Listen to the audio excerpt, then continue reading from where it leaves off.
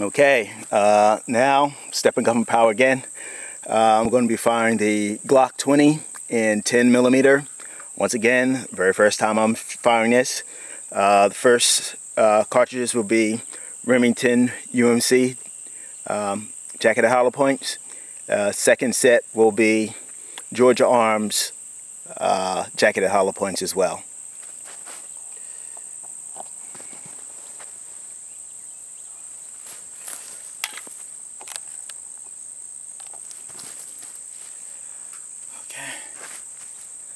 All right, UMC, nice uh, nickel casing.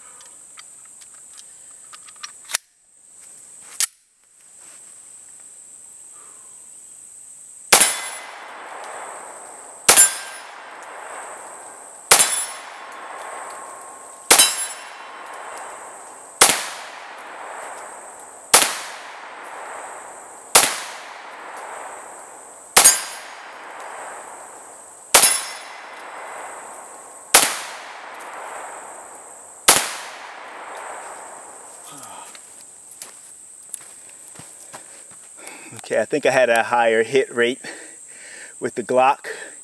Perhaps that's a testament to Glock uh, and the, uh, the, easier pointing and shooting. As I said, this is the first time I've ever actually fired it. And uh, hearing the ping was definitely uh, a confidence boost. Uh, and once again, I'll check it out just to see exactly how things went with the backstop. All right, thanks for watching and let me know what you think about the Glock 20 and 10 millimeter. Uh, the Georgia arms definitely had a little more pop to it than the, uh, the UMC. All right, thanks for watching. Bye-bye.